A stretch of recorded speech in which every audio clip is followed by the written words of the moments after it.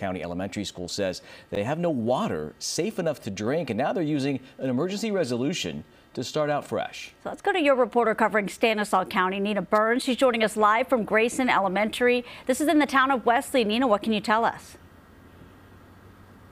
That's right, guys. At the start of November, Grayson Elementary had a major water break where they had to dig into the concrete. And the superintendent says that's when they saw the state of their pipes. Now, today we did speak to the district and parents about the current conditions.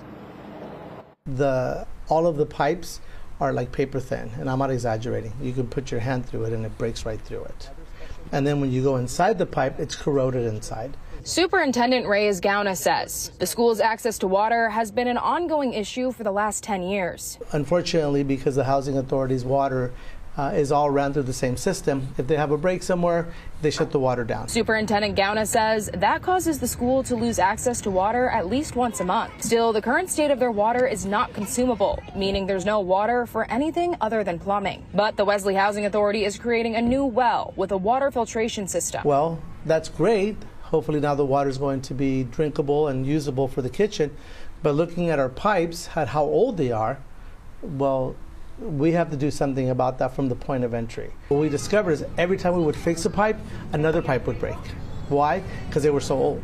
Now the district needs to replace all pipes at Grayson Elementary. Pipes that haven't been changed out since the school was built 75 years ago. It's going to be easily in the millions. I mean, it's it's not a small it's not a small job. So I didn't know that pipes are bad. Brother of Grayson Elementary student Logan says he wasn't aware of the extent of the issue, but hopes the project can bring back clean drinking water. I think it should be worth it. Um, I don't think cost with the kids and stuff like that. Cost wouldn't matter. They have to have fresh water, good water. Grandmother Nito Hernandez also went to Grayson, but says the school has had water issues even when she attended over 40 years ago. Need it. You know, been here so many years. I'm almost 60. Believe that? so we need it. The district will meet with the parents to discuss their next steps. Now they are hoping to start and finish the project this month during a three three week break for a winter break with their students so they can finally get some water back. Because right now, as you heard, they don't have any drinking water. They just give them bottles of water. Back wow. to you guys.